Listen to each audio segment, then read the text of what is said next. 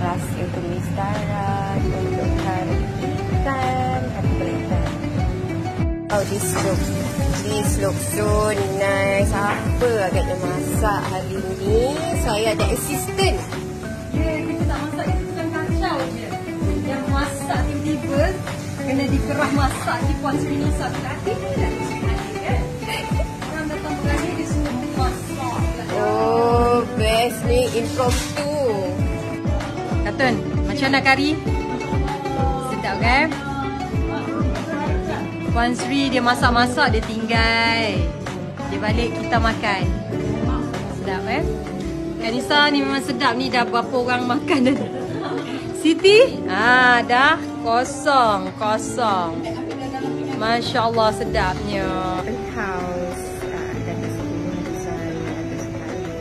Got the chance to actually make kari kepala ikan from scratch uh, over here impromptu. So it was a wonderful